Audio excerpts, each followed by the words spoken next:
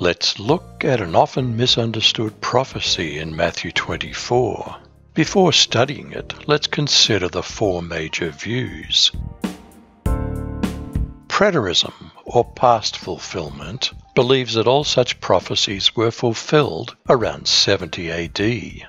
Historicism, or present ongoing fulfillment, is a view that these events are fulfilled throughout the history of the Church. Futurism, or future fulfillment, teaches that these prophecies will be fulfilled just before the return of Christ. And finally, there's a view that in many ways combines them all, past, present, and future, called variously the spiritual, idealist, or symbolic view. How does this prophecy begin? Was it fulfilled in 70 AD with the siege of Jerusalem? Or was that just a forerunner to later prophecies? Now Jesus left the temple and was going away. His disciples came to point out to him the temple buildings. He responded, Do you see all these things? I assure you that no stone will be left on another. Everything will be demolished.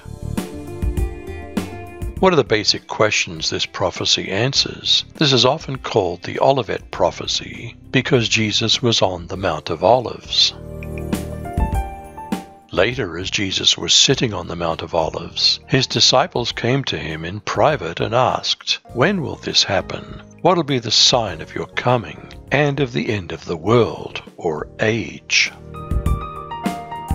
Let's not be led astray. From politics to religion, many have claimed that they are the Anointed One, the Christ, the Messiah.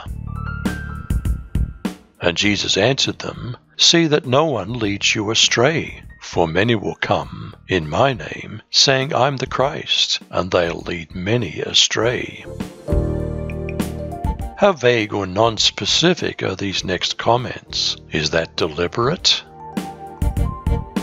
You're going to hear of wars and rumors of wars. See that you're not alarmed, because these things must take place. But the end is not yet. For nation will rise up against nation, and kingdom against kingdom.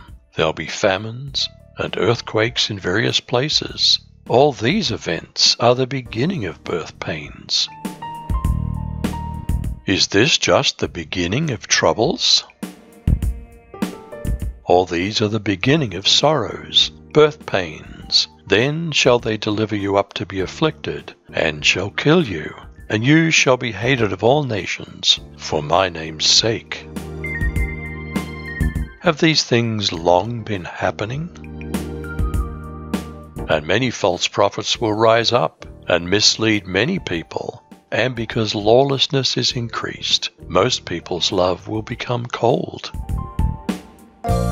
we should stand firm. When is salvation fully complete? As soon as one confesses Christ, or after a life of endurance? Is eternal security, or the once saved, always saved view, weak on this point?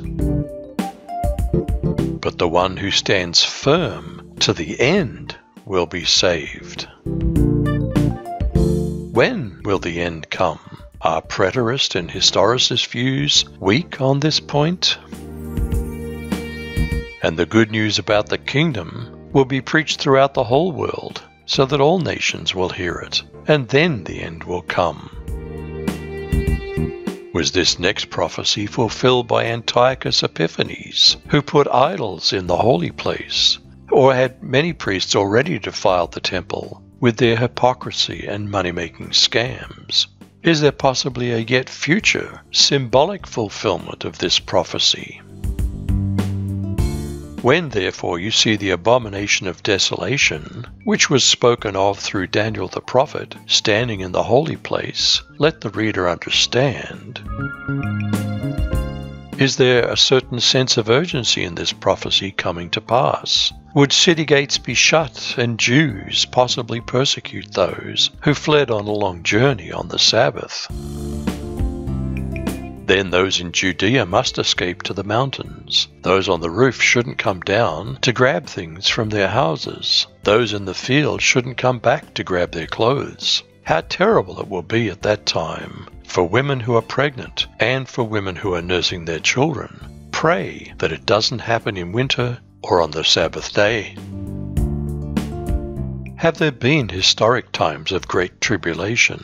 Are Christians in some nations, like North Korea and Afghanistan, suffering great tribulation today? When it says nobody will be saved, could that indicate worldwide tribulation? For then there will be great tribulation, such as has not been from the beginning of the world until now, no, and never will be. And if those days had not been cut short, no human being would be saved. But for the sake of the elect, those days will be cut short. Are there some things we just shouldn't believe? Is it judgmental to avoid false prophets and discern deceptive false miracles? If anyone tells you then, Look, here is the Messiah, or over here, do not believe it. False messiahs and false prophets will arise and perform great signs and wonders to lead astray, if possible, even the elect. Take note. I've told you in advance. So if they tell you, look, he's in the wilderness, don't go out. Look, he's in the inner rooms, don't believe it. Is Jesus' return associated with these events? Are preterists and historicists' views weak on this point? Will Christ's return be as sudden, dazzling, and unexpected as a flash of lightning? For as the lightning comes out of the east and shines even to the west, so shall also the coming of the Son of Man be. What do these signs indicate? Just as the gathering of vultures shows there's a carcass nearby, so these signs indicate that the end is near. Has the next sign yet appeared?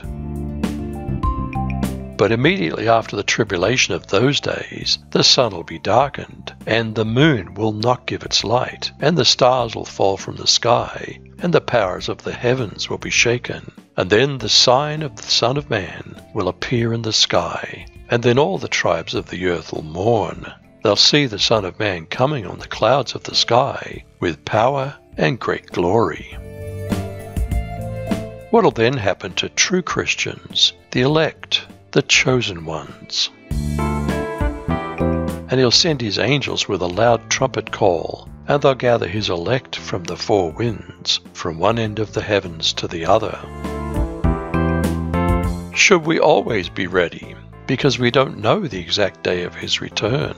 Will these things occur within a generation? Now learn a lesson from the fig tree. When its branches bud and its leaves begin to sprout, you know that summer's near. In the same way, when you see all these things, you can know his return is very near, right at the door. I tell you the truth. This generation will not pass from the scene until all these things take place. Heaven and earth will disappear, but my words will never disappear. Is predicting the day or hour foolish? But no one knows of that day and hour, not even the angels of heaven, but my Father only. Will the days before Christ's return seem normal? When the Son of Man appears, things will be just as they were when Noah lived. People were eating, drinking, and getting married right up to the day the flood came and Noah went into the big boat. They didn't know anything was happening until the flood came and swept them all away. This is how it'll be when the Son of Man appears. Should we stay alert? Is this more like Noah's flood taking people away than some rapture theory which says the opposite? Can we predict the day? At that time, there'll be two men in the field. One will be taken and the other left. Two women will be grinding at the mill. One will be taken and the other left. Therefore, stay alert. You don't know what day the Lord is coming. Should we also stay awake? Is this more of a warning to stay awake and be ready than engage in some kind of prediction addiction? Therefore, stay awake, for you don't know on what day your Lord is coming. But know this that if the master of the house had known in what part of the night the thief was coming, he would have stayed awake and wouldn't have let his house be broken into. Therefore, you also must be ready, for the Son of Man's coming at an hour you don't expect. Should we also be found working? Is the overall lesson of this prophecy that we be found doing God's work? Is there a reward for faithful workers? Who then is a faithful and sensible slave, whom his master has put in charge of his household to give them food at the proper time? That slave whose master finds him working when he comes will be rewarded. I assure you, he'll put him in charge of all his possessions is a symbolic view which incorporates aspects of preterist, historicist, and futurist views, perhaps the most balanced. What of lazy Christians who lose a sense of urgency? But if that evil servant shall say in his heart, My Lord delays his coming, and shall begin to smite his fellow servants, and to eat and drink with the drunken, the Lord of that servant shall come in a day when he doesn't look for him, and in an hour that he's not aware of, and shall cut him asunder, and appoint him his portion with the hypocrites. There shall be weeping and gnashing of teeth. Is this prophecy deliberately general enough that it cannot be used to predict dates? Does it warn us not to be led astray, to stand firm, stay alert, stay awake, and be always ready, diligently doing God's work on earth? Are we? You decide.